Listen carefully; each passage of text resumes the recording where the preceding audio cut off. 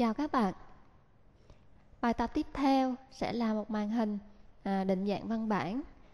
Thì ở màn hình này chúng ta sẽ à, sử dụng cái kỹ thuật à, trên cái điều khiển Tool Strip.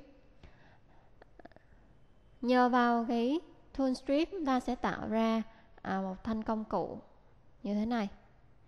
À, Để chúng ta định dạng cái nội dung của văn bản. Thì trước tiên chúng ta sẽ đi phân tích yêu cầu của đề bài. Ở phần thông tin nhập thì chúng ta sẽ nhập vào nội dung của văn bản.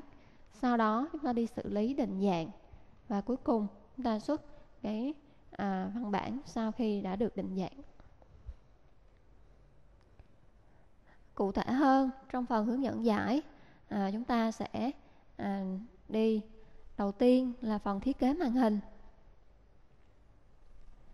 thì các điều khiển trên form, ở đây chúng ta sử dụng cái control, có tên là tool strip để tạo ra thanh công cụ. Thì đây là tool strip. Còn phần về nội dung thì chúng ta sử dụng text box để chúng ta thể hiện nội dung. Sau đây sẽ là phần bài giải cụ thể của chương trình. Thì đây là màn hình đã được thiết kế sẵn. À, chúng ta sử dụng một điều khiển à, có tên là tool strip và chúng ta vẽ vào đây. Thì khi mà vẽ vào thì nó tự động nó kết dính à, với cái phần trên cùng bởi vì tool strip nó có cái vị trí nằm tương ứng ở đây. Thì sau khi mà tạo mới thì chúng ta cứ hình dung nó sẽ à, không có thành phần nào cả mà nó chỉ có một cái ô cuối như thế này. Add Tool Strip Button thì các bạn click vào chúng ta sẽ chọn những cái thành phần mà chúng ta muốn tạo trên cái thanh công cụ. Ví dụ các bạn muốn tạo một cái ô như thế này thì chúng ta à, chọn là combo box. Đó chúng ta chọn à, ô này để chứa phông này chứa size rồi cái này là một cái nút lệnh để thực hiện thì các bạn chọn là button. Ở đây toàn bộ là những cái nút lệnh. Còn à, các bạn muốn mà có những cái đường phân cách à, như thế này thì chúng ta sẽ chọn là à, separator thì đó là những cái à, điều khiển trên tool tree mà các bạn có thể tạo. Còn đây là một cái text box à, chứa nội dung. Thì sau đây chúng ta sẽ đi xử lý. Thì đầu tiên chúng ta sẽ khai báo các cái biến toàn cục cho cái màn hình. Thì, ở đây các bạn thấy là chúng ta có những cái kiểu định dạng về phông chữ, thì nó sẽ có kiểu là phông style. Thì phông style ban đầu chưa có định dạng gì, ví dụ như là in đậm, in nghiêng đều chưa có mà là cái kiểu chữ bình thường, thì chúng ta sẽ gán bằng là font style chấm regular. Thì khi mà chúng ta khai báo kiểu giá trị này thì chúng ta khi gán thì các bạn thấy lập tức nó sẽ hiện ra những cái giá trị cho chúng ta chọn. Thì chúng ta chọn giá trị tương ứng đây là kiểu à, bình thường chưa có định dạng. Và một cái à, biến nữa đó là kích thước. À, chúng ta khai báo kiểu single và ban đầu giả sử như chúng ta cho là bằng 10 sau đây sẽ là các cái à, sự kiện mà chúng ta cần xử lý. Ban đầu khi mới mở màn hình thì chúng ta có sự kiện load thì các bạn sẽ thực hiện tạo danh sách phong tạo danh sách kích thước. Sau đó chúng ta đi gán cái à, phong mặc định là phong thao ma và có thể kích thước chúng ta ban đầu là 14 chẳng hạn. Khi à, tìm hiểu thêm về cách tạo danh sách phong chữ thì các bạn à, sẽ có cái thủ tục như sau. Thì chúng ta sẽ làm quen với cách à, lấy một cái bộ phong trong hệ thống như thế nào thì chúng ta khai báo một cái biến là tập hợp các phong à, có kiểu thì đây chính là cái kiểu mà chúng ta à, lấy cái tập hợp phong trong hệ thống. Chúng ta dùng cái lớp drawing à, chấm text và dùng cái install form collection là tập hợp các phong trong hệ thống. Sau khi có được cái bộ phong rồi thì chúng ta cần phải lấy từng cái à, thành viên từng cái à, phong chúng ta add vào trong combo box. Thì chúng ta khai báo một cái biến có kiểu là family có kiểu là phong family là từng cái phong trong cái bộ à, phong chữ mà chúng ta vừa có. Như vậy thì với mỗi family trong cái tập hợp phong thì các bạn chú ý đây là family số nhiều. Trong thuộc về cái bộ phong mà chúng ta đã lấy. Đó. thì danh sách à, các cái phong chữ. Với mỗi phong trong cái danh sách này thì chúng ta sẽ đưa vào trong cái combo box font và chúng ta add vào. Thì để lấy tên của phong thì chúng ta có là à, family.name thì cứ như vậy nó sẽ duyệt qua tất cả các cái phần tử trong cái bộ phong và nó sẽ add vào trong combo cho chúng ta. Thì đó là cái cách để chúng ta tạo danh sách phong còn tạo danh sách kích thước thì chúng ta có thể đi những kích thước nhỏ từ 8 đến 50 và mỗi lần chúng ta tăng 2 rồi chúng ta add vào trong cái combo box size. Thì đó là cái xử lý khi chúng ta mới mở màn hình. Còn xử lý khi phong thay đổi à, thì toàn bộ à, chúng ta có một cái thủ tục là định dạng. Định dạng thì à, sẽ thực hiện là gán phong sẽ bằng. Các bạn thấy là ở đây chúng ta dùng new phong để chúng ta truyền các thông số vào. Thì để lấy được cái phong chữ các bạn lưu ý trong cái phương thức new của phong à, chúng ta có à, tên của phong chữ.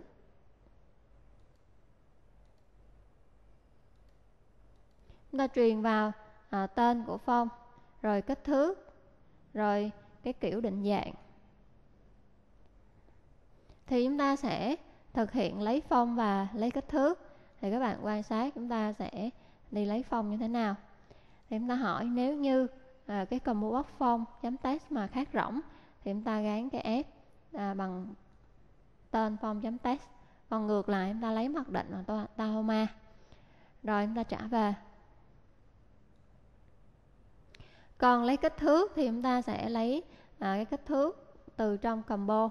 Ngược lại thì nếu mà chưa chọn thì chúng ta chúng ta cho cái kích thước bằng 10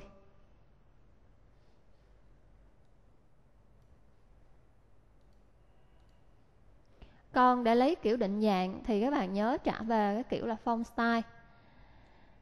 Lưu ý do là cái định dạng của phong chữ thì nó có thể à, cộng à, kết hợp nhiều cái định dạng ví dụ là vừa in đậm vừa in nghiêng.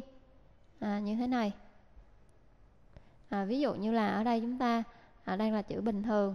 Nếu chúng ta muốn là in đậm rồi vừa in đậm vừa in nghiêng rồi vừa gạch dưới nữa thì chúng ta phải phối hợp các cái kiểu định dạng lại với nhau. Cho nên chúng ta phải lấy kiểu định dạng và trả về cái font style. Thì kiểu định dạng ở đây à, ban đầu chúng ta cho là regular. Và chúng ta đi xét từng trường hợp.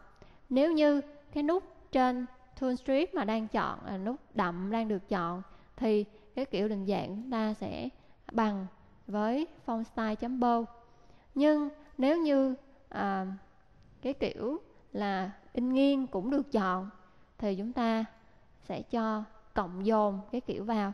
Ví dụ trước đó là bơ rồi nghĩa là in đậm rồi thì chúng ta tiếp tục là in nghiêng. Các bạn nhớ là cộng dồn vào. Tương tự gạch dưới cũng vậy chúng ta cộng dồn vào sau đó chúng ta trả về cái kiểu định dạng. Sau khi đã lấy được à, kiểu định dạng lấy kích thước lấy phong rồi thì chúng ta ráp vào trong cái à, test nội dung chấm phong. Chúng ta new phong mà chúng ta truyền các cái thông tin vào. Lấy phong lấy kích thước à, lấy kiểu định dạng.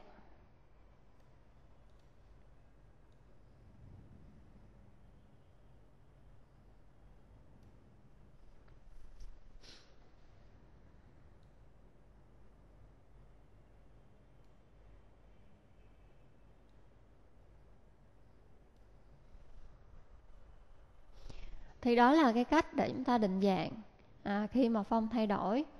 Như vậy thì nhờ cái thủ tục định dạng này mà chúng ta xử lý cho tất cả à, các cái sự kiện như là cầm một bóc phong khi mà chúng ta thay đổi phong chữ khi chúng ta thay đổi cái kích thước khi chúng ta nhấn vào in đậm in nghiêng hay là gạch dưới chúng ta đều sử dụng chung cái định dạng này.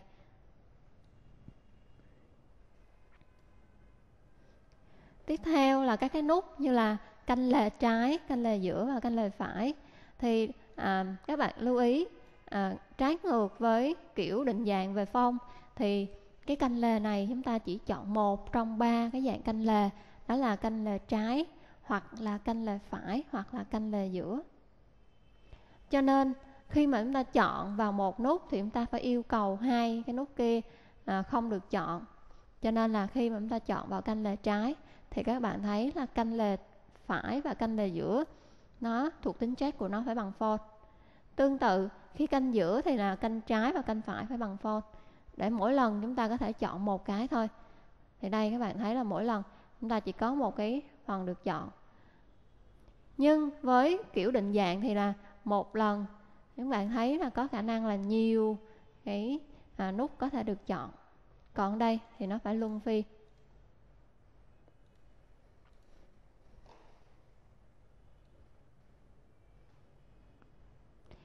để canh lề cho nội dung của test post thì các bạn à, thông qua cái thuộc tính là test align.